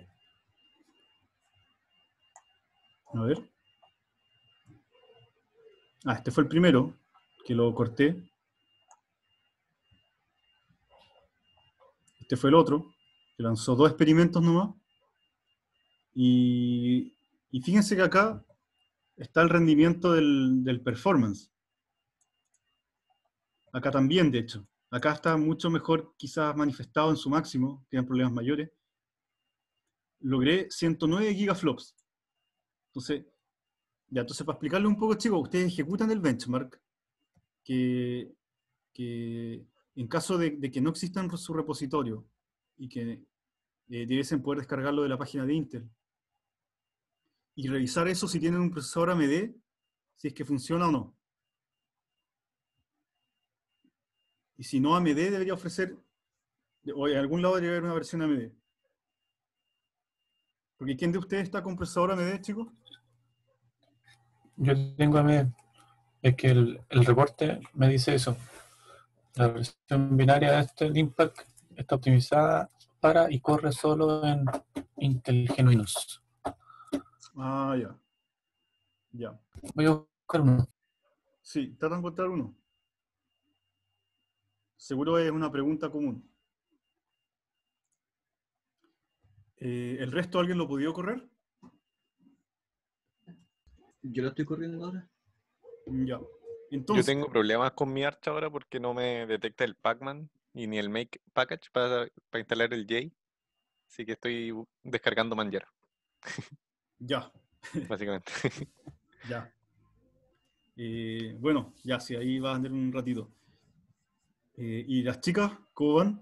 Mm, yo todavía no hago nada. Ya. Está, ¿en, en qué vas? ¿En tratando de descargar el software? Sí. Vale. ¿Y con qué distribución está? Estoy en Linux. Ubuntu. Ubuntu, ya. Sí. Creo que hay un paquete en Ubuntu. A ver. Sí, sí, en la página que sale el Impact, creo que tenía, decía la instalación en esa, Pan, Pantix.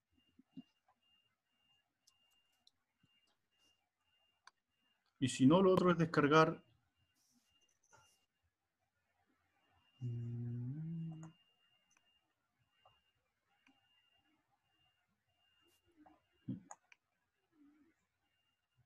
Bueno, ahí están, claro.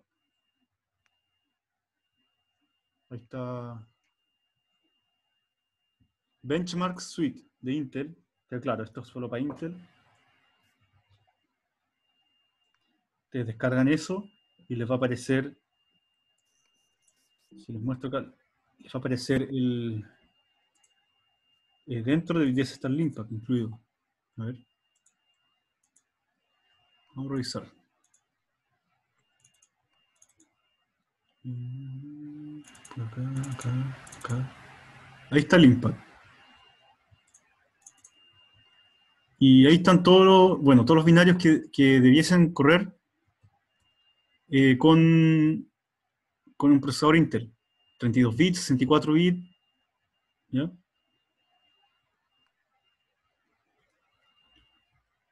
Es- es- lo- los que yo corrí eh, serían estos de acá.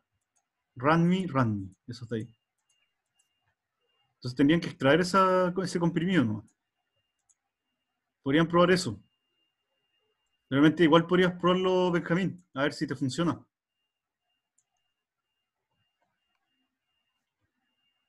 Al tiro. Sí. Y en el, eh, ¿De dónde sacó ese, profe? ese lo encuentran en. eh, yo creo que la misma URL que les di, quizás. A ver, vamos a la que sale en el archivo TXT. Ahí estoy yo, pero no lo veo. A ver. Acá. Claro, acá. Y apretan el primer link. Ese. ¿Lo ven? Ahí. Entran ahí. Y después descargan para Linux. Bueno, y aquí está para los tres. Windows, Linux y Mac OS. Entonces, Camila, también para a ti también te serviría este, si estás teniendo problemas con encontrarlo. Sí, en eso mismo estoy. Vale. Ya, entonces lo descargan y lo descomprimen. Vamos a hacer el experimento. A ver. Ya, yo lo había descargado. Sí. Ya vamos a comprimirlo.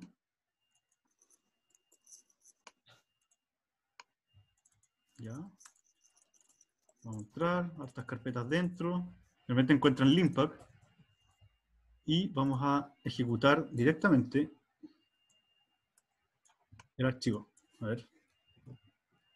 Entonces, eh, sería runme C164. Y claro, ahí está corriendo. Y este experimento tiene va aumentando, si se dan cuenta, va aumentando el, el tamaño del, problema gradualmente.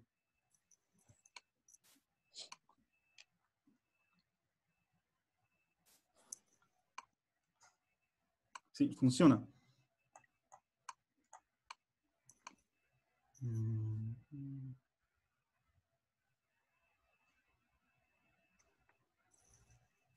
Ah, y este es un script a todo esto. Entonces, sí, ya entendí. Entonces, si, cierran eso, dentro van a tener control de, cómo quieren que ocurra. Revisemos, a ver, el RANMI C164, lo revisamos. Claro, y acá tiene, sí. Claro, acá, acá por ejemplo saca automáticamente el número de CPU cores. Y esto es un BinSH, entonces quizás podríamos hacer acá un echo. Eh, hay em, eso eh, cores en la CPU. Entonces, así como para saber cuánto está detectando. Claro, ahí me tiró, por ejemplo, que hay 6 cores en la CPU, está bien, y son 6 de verdad. Sí. Y de hecho tiene todo el sentido del mundo que acá, cuando yo ejecutaba el experimento en el, en el monitor, me aparecían solo 6, porque yo tengo 6 en realidad físicamente. Ese tema del hyperthread, no sé si lo hemos revisado todavía acá en clase. Lo, re- Sí, lo lo mencionaron en la hablamos. clase pasada. Hablamos de él. Sí, la clase pasada. Ah, ya, perfecto. Ya. Entonces, recordar el tema del hypertrain, que, verdad, que lo revisamos en el laboratorio 00 también, con Guanaco. Yo aquí lo tengo habilitado, entonces tengo núcleos ficticios en el fondo. Tengo eh, 12 núcleos donde la, la- o sea, 12, 12, sí, 12 núcleos. Para la máquina, mi CPU es de 12 núcleos, para el sistema operativo, digo. Pero en la realidad son 6 núcleos, físicamente. Eso es como por, por el hypertrain que ofrece el doble. Ya lo habíamos discutido. Entonces aquí se puede hacer los ajustes. Está bueno. Pueden acá tirar harto output para comodidad de, de saber lo que está pasando, quizá un poquito más. Ahí. ¿Qué más? Bueno, tienen... mm, acá está bien parametrizado el- la ejecución. Entonces aquí se ejecuta el punto slash, el, el binario X limpack. Y ahí el, el C164 viene escogido por el arch, donde arch está sacado de, déjame ver. Vamos, arch, a ver. Ah, ahí está, está puesto. Simplemente está puesto así. ¿ya? Como por si algún momento se cambia. Profe, después de descomprimirlo, ¿cómo lo hizo para correrlo? Después de comprimirlo. A ver. Sí. Ya, estamos, ya lo descomprimiste, está esa carpeta LMKLB, entran, Ajá. Sí. entran a benchmarks, Ah, entran a Linux, entran a MKL, entran a benchmark de nuevo, tiene hartas carpetas dentro. La última es un benchmark, ahí encuentran Limpack, entran, Ya. y ahí están, ahí están, en el lugar donde yo estaba. ¿ya? Ah, ya. Y, y dentro, dentro entonces, eh, va- claro, dentro, acá tienen un script que es Ah, que va a llamar hartas veces. No, no sé si hartas veces en realidad. A ver. A ver. No, llama una vez nomás. Va a llamar eh, el, el binario Xlimpax C164 en este caso, y como argumento tiene este archivo. Y ese archivo el que tienen al lado. Ese. No, ese. Y ahí están los, ahí está todo, problema definido. ¿Se dan cuenta? Están todos los tamaños de problema, todas las dimensiones, ustedes pueden jugar con esto, entonces ahí pueden hacer el gráfico eh, rendimiento, el que se pide, que es como rendimiento y el n abajo. Tengo creo que, a ver, vamos a revisar el, el gráfico que se pide. Dice, claro, dice rendimiento en gigaflops versus tamaño de problema. Para distintos números de threads. O sea, en el fondo, ¿qué significa? que, que va- van a tener, claro, van a tener varias curvas. Una curva quizás con su máximo de threads posible, eh, eh, correspondiente al número de núcleo, otro con la mitad de núcleo y quizás otro con uno. Ya se podría, po- podría precisarles que tengan, podrían tener unas tres, cubriendo los extremos y uno al medio. ¿Se entiende?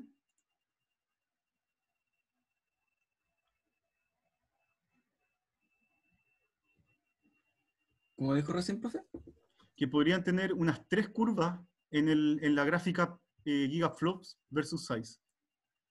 Entonces, una curva que ocupe un thread, otra curva que ocupe la mitad de los threads que podrían llegar a ocupar y la otra que ocupe todos.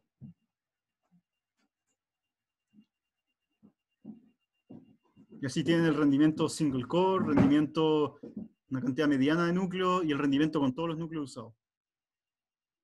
Y cómo escala la en- a medida que aumenta el tamaño del problema. Entonces voy a, em, para, aquí mejor para un thread, eh, medio threads y n cores thread. Ahí quizás se entiende. Tres curvas. Entonces, eh, un plot, tres curvas dentro.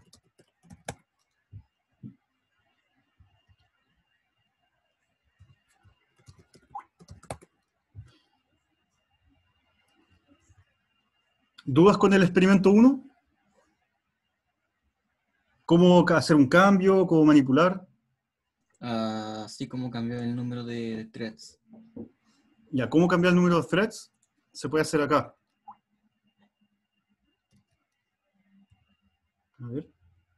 Mm, si Espérate. Al final el CPU core hay que dejarlo a un número, ¿no? ¿O no? Repitan la línea 26. Está.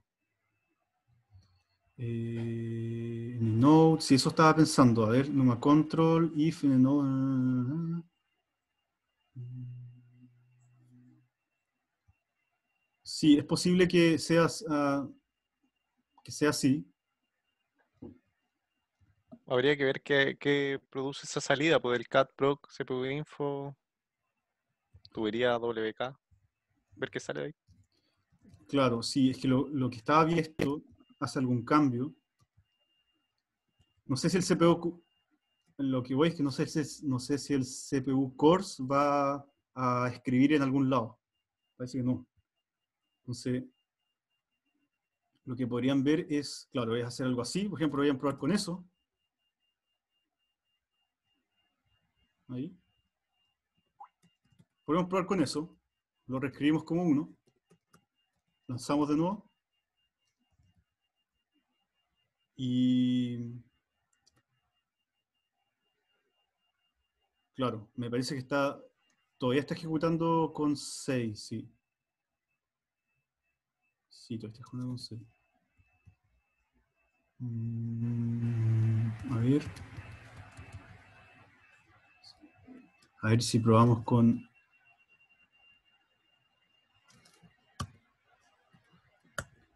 Sí, creo que, creo que, hay, que hay que cambiar un define.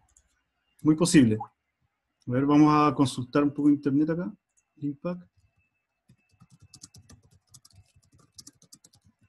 Ver.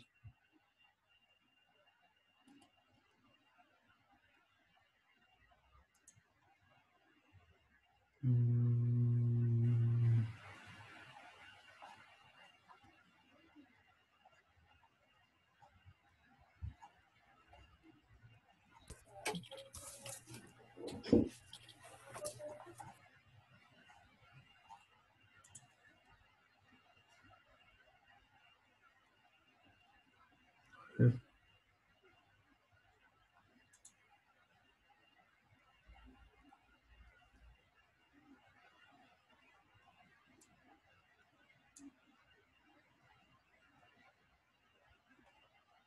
Claro que no sé si esa variable hay que asegurarse. A ver.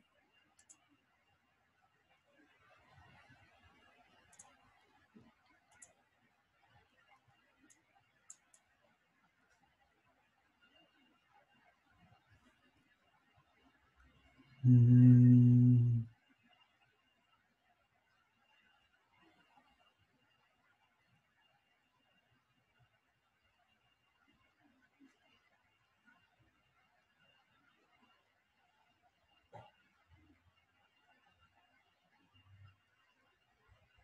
Podría ser ese, ese valor, de CPU Affinity.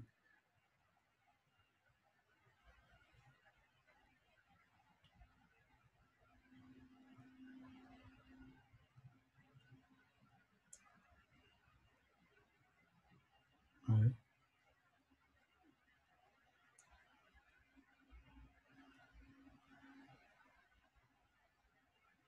A ver eso. De repente puede ser tan simple como esta variable. Veamos. A ver. Export. Por ahí. Y ahora eh, lanzamos. eh,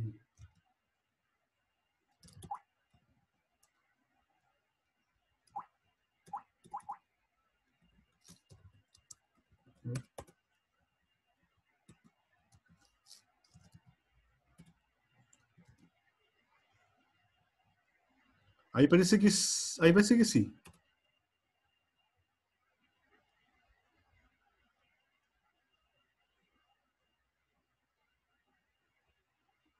Sí, tendría que modificar esa variable. ¿Notaron?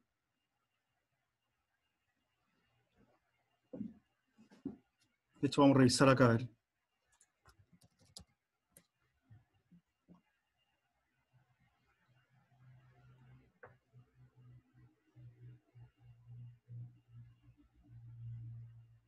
Claro, hay una 95. Ya, y ahora vamos a cambiar acá. Vamos a cambiar a 2. A ver. Sí. Rodrigo, eh, con tu consulta ahí está la respuesta. ¿Cachaste? El, eh, el export del MP3.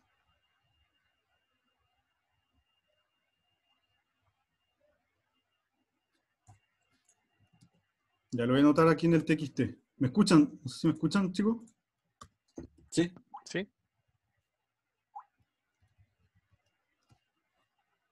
Mm, yo no. ¿Aló, aló? ¿Me escucha, profe? ¿Aló, no me escucha? No, no me escucha, parece. Parece ¿Aló, que aló? no nos escucha. ¿No? F.